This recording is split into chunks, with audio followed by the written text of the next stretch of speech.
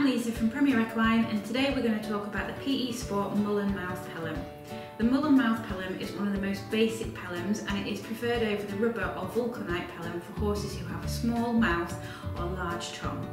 The curved mullen mouth of this bit gives space for the tongue with little pressure on the bars of the mouth and the palate.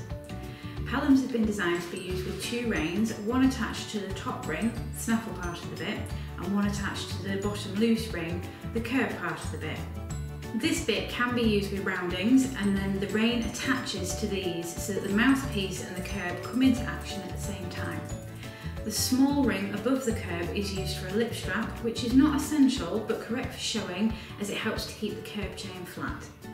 Pelhams are ideal for stronger horses who may benefit from the activation of the curb rein, which puts pressure on the chin and poll to help promote the correct head carriage.